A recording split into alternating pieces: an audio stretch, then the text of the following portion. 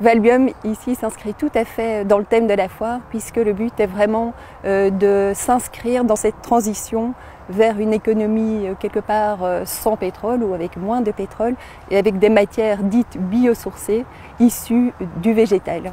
Et donc le chanvre est une culture rêvée puisqu'elle est vraiment intéressante d'un point de vue écologique, elle produit beaucoup de biomasse, elle est en puits de carbone. Et donc euh, ça vaut vraiment la peine d'arriver à vraiment valoriser cette culture pour qu'elle soit rentable évidemment pour l'agriculteur.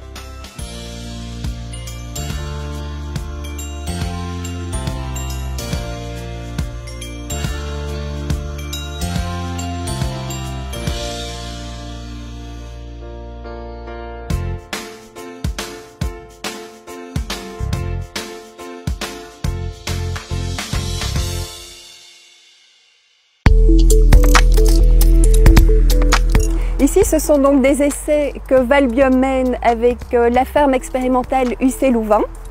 Il s'agit donc de, cultiver un chanvre textile fibre longue. C'est donc euh, fort semblable au lin. On va euh, récolter le chanvre plus tôt que ce qu'on fait d'habitude et on a semé donc très dense. Vous voyez qu'il y a beaucoup de plants au mètre carré et donc c'est pour obtenir une fibre longue. Valbium est un réseau d'acteurs. On va retrouver des agriculteurs, des PME, des entreprises, des chercheurs. Et l'idée, c'est de développer des filières de valorisation non alimentaire de la biomasse. Donc des matériaux, la biochimie, etc. Et donc on va mettre tous ces acteurs en interaction et nous, on va les aider à développer euh, ces différentes euh, thématiques. Alors il y a beaucoup d'applications pour le chanvre. Donc il y a la graine qui est très riche euh, en oméga 3, oméga 6. Il y a dans la tige, il y a les fibres dont on peut faire des fibres textiles ou euh, on peut les, intégrer aussi dans des biocomposites.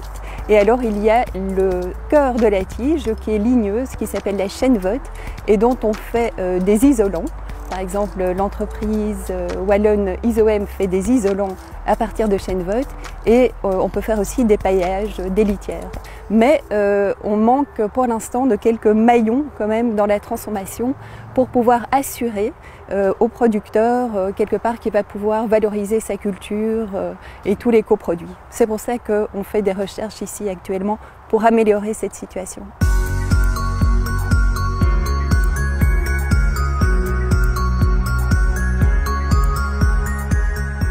Alors, Valbium euh, est mandaté pour développer des débouchés économiques justement pour le chanvre, parce que la culture est très intéressante d'un point de vue euh, écologique, elle a plein d'avantages, elle n'a pas besoin de produits chimiques, par exemple en forme de pesticides ni d'herbicides, elle nécessite très très peu d'engrais, elle améliore la structure du sol, elle est bénéfique pour les insectes pollinisateurs, enfin c'est la plante idéale, mais sa valorisation quelque part pose encore problème parce qu'il faut quand même assurer souvent une première transformation, deuxième transformation. Et donc là, on n'a pas toujours tous les maillons. Eh bien, elle a été interdite euh, pendant euh, des dizaines d'années et donc en fait on a raté toute une phase industrialisation. Le lin n'a jamais été interdit et donc il a pu s'industrialiser.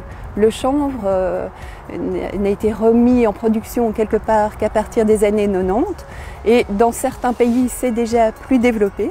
On voit quand même aussi que la surface de chanvre augmente euh, d'année en année euh, ces dernières, euh, ces dernières années, on va dire. Donc l'intérêt va croissant aussi de la part du public.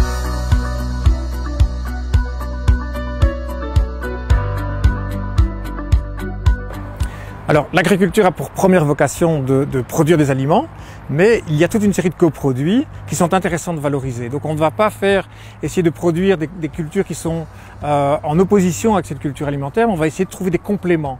Et l'idée évidemment c'est de diversifier quelque part le revenu de l'agriculteur. Maintenant on peut avoir des cultures qui sont dédiées parce qu'elles ont des caractéristiques intéressantes pour des matériaux, pour des produits, comme par exemple le chanvre, euh, dans lequel on va trouver des fibres qui sont intéressantes. Et donc là, on va la cultiver pour ce qu'elle est. C'est sûr que c'est une déception de ne pas pouvoir euh, présenter tout ça à la foire de Libramont. La foire de Libramont, bah, c'est aussi l'occasion de rencontrer euh, beaucoup d'agriculteurs, bah, d'échanger aussi, surtout, ça c'est important pour, euh, voilà, c'est toujours bien qu'il y ait un dialogue entre la recherche et les agriculteurs. Et donc oui, c'est dommage. J'espère que bien ici, en faisant ce petit reportage, on pourra compenser en partie euh, voilà, le manque de contact.